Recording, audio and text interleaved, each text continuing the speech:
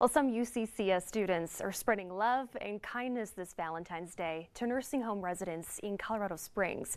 KRDO News Channel 13's Kerjan Bianca has the story, and it's absolutely Colorado.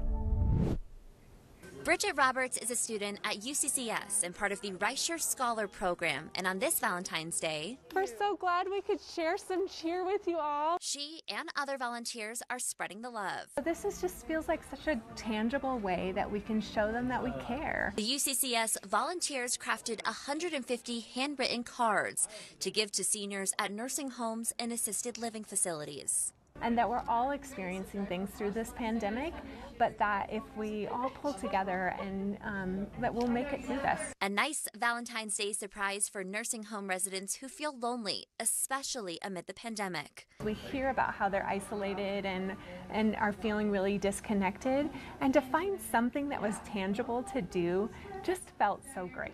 In Colorado Springs, thank you. Kerjan Bianca, KRDO News Channel 13.